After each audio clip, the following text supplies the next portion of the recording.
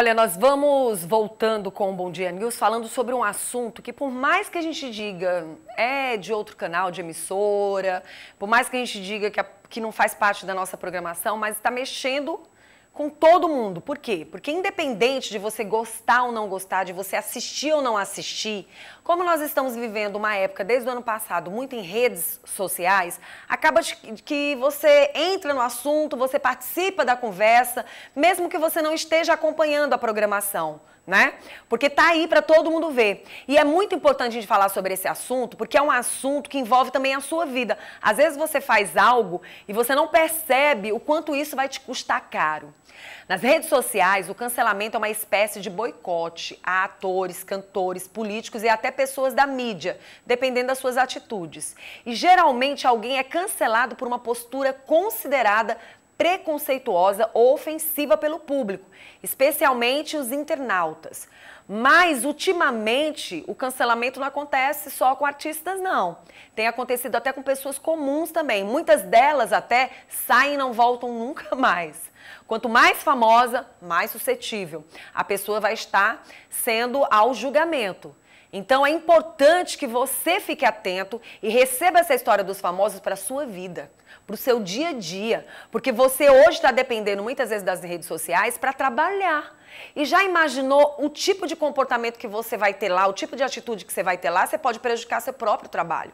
Hoje as pessoas têm que entender que rede social não é simplesmente oba-oba, não. Tem que ter muito cuidado com o que você anda postando, com o que você anda falando e os cuidados que você tem que ter com o outro. Porque rede social não é mais uma brincadeirinha. Confere aí.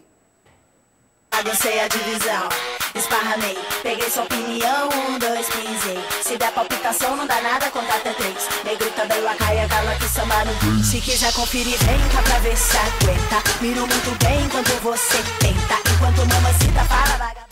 A rapper Carol Conká, de 34 anos, é alvo de críticas nas redes sociais por seus comentários desde que começou sua participação no Big Brother Brasil.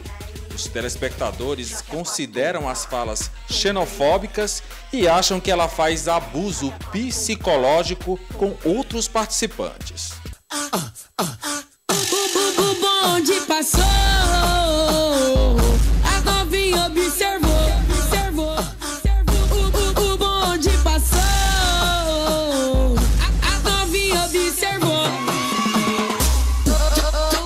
cantor MC Gui, de 22 anos, foi cancelado e acusado nas redes por fazer bullying virtual com uma garotinha na Disney. Ele publicou um vídeo zombando da americana enquanto ria e fazia piada, dizendo que parece um filme de terror.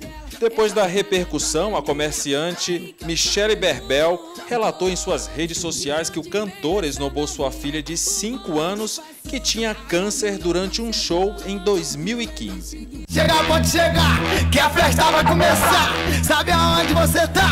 Naquele lugar que tu ouviu falar. Aonde tu senta, aonde tu sobe, aonde tu desce, aonde tu rebola. Sabe aonde você tá?